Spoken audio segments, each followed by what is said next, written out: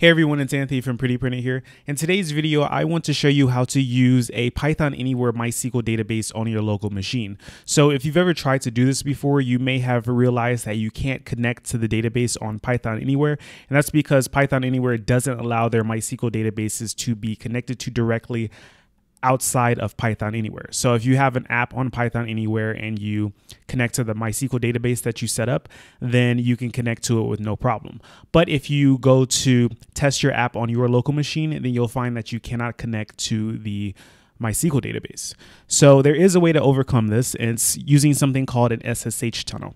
So what I'm going to show you in this video is how to create that SSH tunnel so you can connect to the database on your local machine. So just a quick overview of what this tunnel means.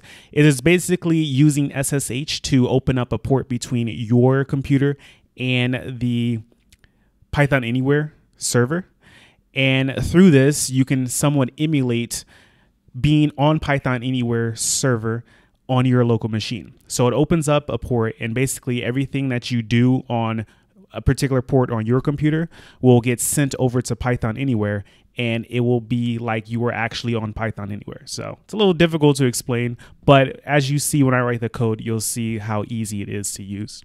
So I have my Python Anywhere MySQL page open and has the uh, database information here. I'll be using pretty printed dollar sign default is the database, and I have the console here for that database open. And if I show the tables that I have here, so show tables, I see I have an empty set, meaning I have no tables. So we'll see that I get to uh, create this table in just a moment.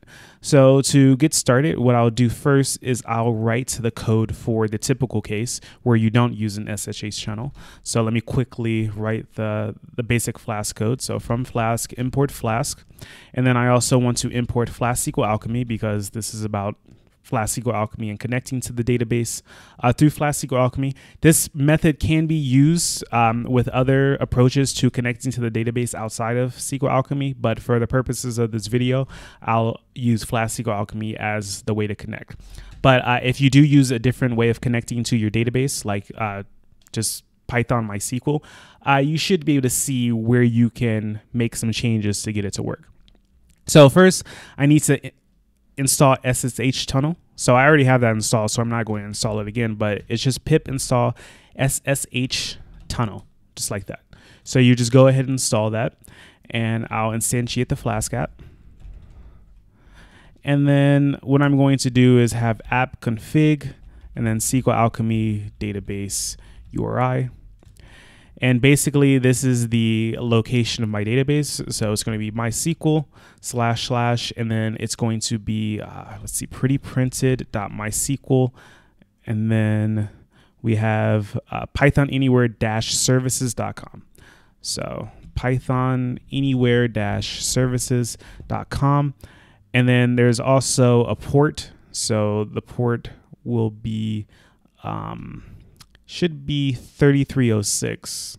That's a typical uh, MySQL port, I believe. So 3306. Port's not that important. Perhaps I can even get away with not using it for now. But that's the URI that I'm interested in. And of course, I need to have the uh, username and password. So um, my username is pretty printed. And then my password is, I'll just put my password here and then there should be an at. So pretty printed, and then my password, and then at uh, here, and then I need the name of my database. So pretty printed dollar sign default. So just like that. So now I'll instantiate the database object. And then I will create a simple table. Let's just call this test because I'm not really concerned with using this table. I just want to create a table that I can see on the console when I go back to the MySQL console. So I'll just say this is the primary key. And then that's all I need. So I can basically get away with doing this. Now, since I don't have my real username and password here, I can't show you the error message that I get. But if you're familiar with trying to connect to Python Anywhere with uh, this approach, just putting the URI here, then you know that it won't work. So what I'm going to do is I'm going to set up the tunnel.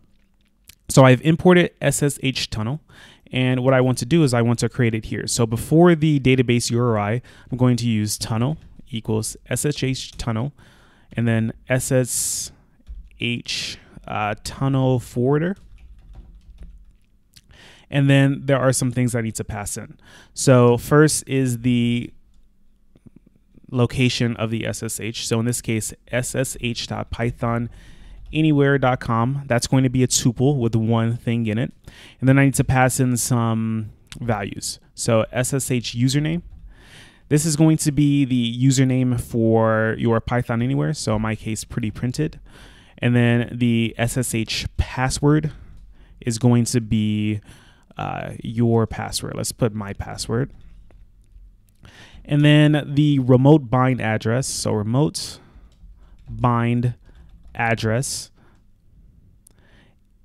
is going to be the location of the database that you want to connect to and the port. So this is another tuple.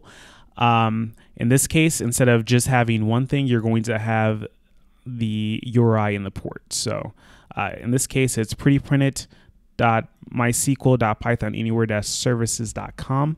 And then you need the port, which is 3306. And you can also specify a local port on your machine, but to avoid using a port that's being used for something else for whatever reason, I'll let the tunnel figure out a port for me. So this is all I need. So this is the same URL here. It's basically the same information, uh, except for the database name itself. So I have the username, I have the password, and then I have the URL here. And just know that the uh, password here is your Python Anywhere password. So your Python Anywhere password.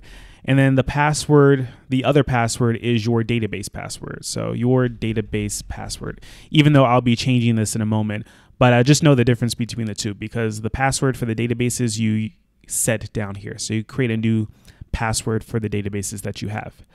Okay, so I have this tunnel set up.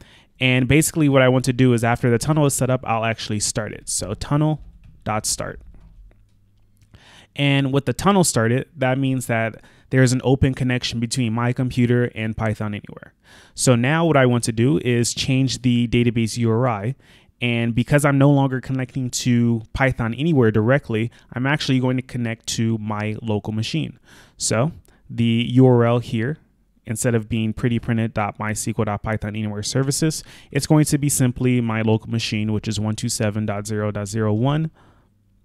And then the port, I'll actually fill in in a moment. So I'm just going to leave a placeholder here, just like that. And then the username and the password are the same uh, for the database. So basically, this username is the username for Python Anywhere. It's used for both the SSH and your database. And then the database password is the actual database password that you set here. So just know, like I said, there's a difference between your database password and your password for Python Anywhere.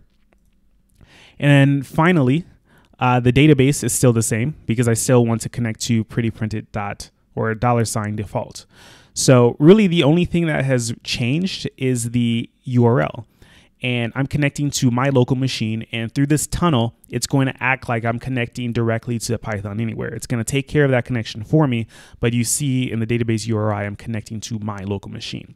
And this port is going to be determined by the SSH tunnel. So all I need to do is pass in tunnel.local bind port. So this is the port that is used by SSH Tunnel, and uh, whatever that value is, it's going to input it here in the URI. So this is correct. So the port is going to be the port on your machine, and then the port on the Python Anywhere server is 3306. So that's pretty much it to use this. So now I'll demonstrate that this actually works. So I'll start up uh, a Python REPL and I'll import db from my files. So from run import db. And just note that I have another file with my actual information. I don't want to put it in this video because I actually use this account for Python anywhere, so it's a little easier to have two separate files. But I have um, the DB object imported, and you can see that I didn't get any errors when I connected to the database. So I just run db.create all like normal. And then if I go back to my console and use show tables again, I now see one table test. And if I select star from tests, there's nothing. And just to show you that I can actually use this, um, let's say from run import test, I'll create a new test. So db session add this test.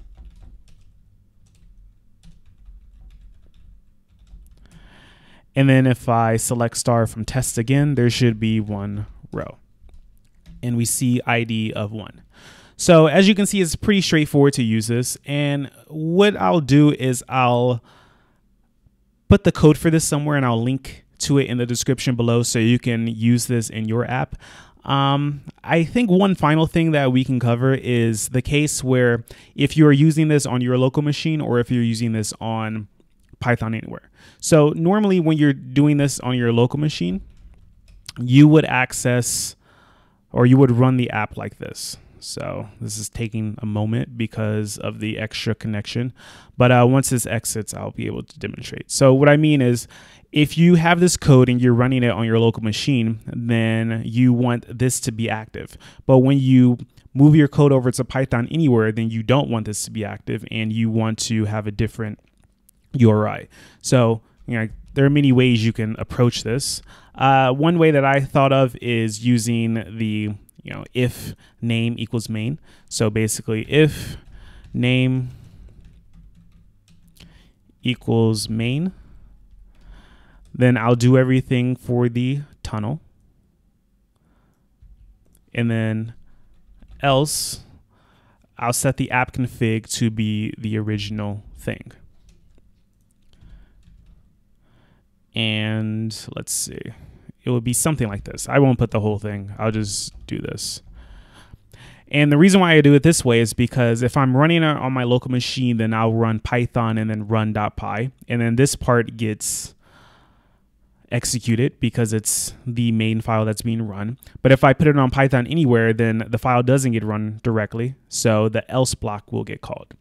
But this really depends on your situation, uh, how you have your code set up for your database and your configuration. So it just depends. But uh, just note that you kind of want to figure out a way to uh, separate the case when you're testing it on your local machine and you're testing it on Python Anywhere itself, where you have it on Python Anywhere live. Uh, another way is to use configuration values for uh, production and test environments. You can do that. I mean, there are so many different things that you can do. Uh, so if you have a specific situation where you want to use this and you're not quite sure how to handle the case where uh, you know you're running on your local machine or you're running on Python anywhere, then you can just leave a comment at the below the video and I can uh, look at it and I can possibly help you out with that. So that's all I wanted to cover in this video. I hope it helps you connect to your database on Python Anywhere. Uh, if you have any questions about this, you can always leave a comment down below. If you like this video, please give me a thumbs up. And if you haven't subscribed to my channel already, please subscribe. So thank you for watching this video and I will talk to you next time.